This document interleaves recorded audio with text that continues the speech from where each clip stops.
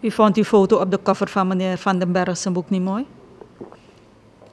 Kijk, ik ben de laatste die iets tegen een foto van mij gaat doen. Maar je weet, je zit, je zit in een omgeving, environment en surrounding. Ik, ik volg die ontwikkeling. Ik zal de laatste, als je ziet mevrouw hoeveel dingen gezegd en geschreven worden op social media. Ik heb geen tijd voor die dingen, echt waar.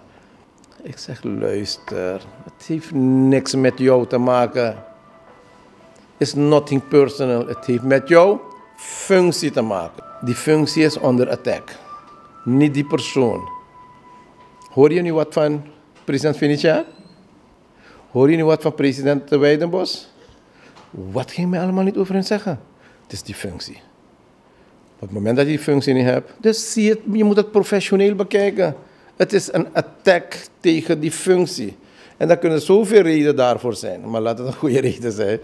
laat het geen reden zijn om je oplagen te gaan verkopen en dergelijke. Nee, ik heb gewoon advies gehad van kijk, president, de ding is niet goed. Integendeel, die meneer was hier. Hij is zeker 1, 2, 3 keer hier geweest. Ik heb alles gedaan om zijn project en zijn programma goed te begeleiden. Naar ministers LVV, naar minister Bibes, naar andere financiële instituten. Ja, maar als het niet lukt, dan lukt het niet. Ik ben pas president geworden, maar zijn probleem bestond er voordat ik president was.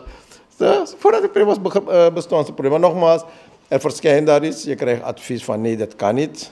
Uh, je wordt geassocieerd met corruptie, dat ben ik niet, dat is niet mijn stijl. Dan moet je aanvechten. Dat gaat op een gegeven moment niet, laat mij zeggen, uitgevoerd worden zoals het bedoeld is. Wat ik ga doen, ik ga me niet persoonlijk hiermee bezighouden. Ik heb een advocaat van luister, dit is hem. Kijk wat er in deze zaak gedaan moet worden. En dan moet je handelen. Toch? Ik krijg advies, nee, je moet een, uh, een klacht indienen bij de PG. Goed, breng die brief. En ik heb het getekend. Ik heb een klacht ingediend bij de procureur-generaal. Zaken, smaad, lasteren, noem maar op. Het is niet de gewone artikel waarvoor je klacht nodig hebt tegen staatshoofd. Het is een ander artikel wat er is.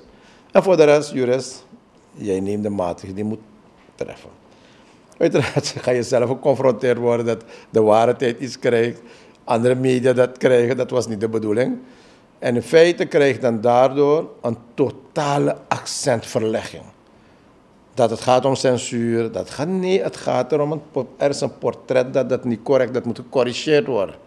Ja, hier kan je niet corrigeren. Nou, waar moet je het wel corrigeren? Nou, die meneer is daar in Nederland, hij woont daar, hij heeft een distributeur, hij heeft een uitgever. Nou, die zaak wordt dan daar voortgezet tegen hem. Maar die impact hier naar media, en, nee, dat was niet de bedoeling.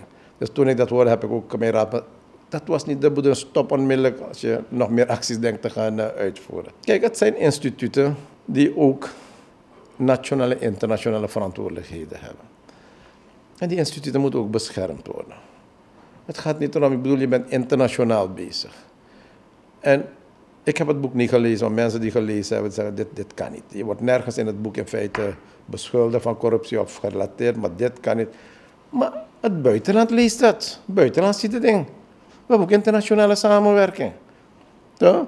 Dus inderdaad moeten we soms corrigerend zijn, maar uh, het middel wat je inzet moet niet zo proportioneel zijn dat daardoor je ook andere rechten gaat inperken of tenminste een perceptie gaat creëren dat daardoor vrijheid van meningsuitingen of persvrijheden ingeperkt moeten worden. Dat was niet de bedoeling.